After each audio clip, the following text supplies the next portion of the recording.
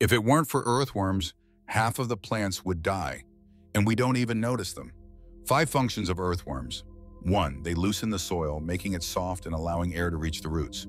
Two, they improve drainage, preventing water from stagnating and causing rot. Three, they create humus, organic matter, super fertile soil. Four, they feed microbes. They start the food chain from the bottom. Five, they restore dead land. They even revive landfills. Five unusual facts. One, they breathe through their skin. They have no lungs.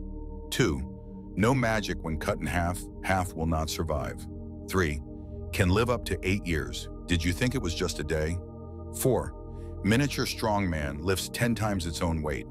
Five, one hectare of land, up to five tons of worms. Five, tons, conclusion.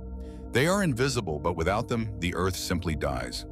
Worms are not garbage, they are the engine of nature. Subscribe if you respect those who work quietly but powerfully. It gets even tougher from here.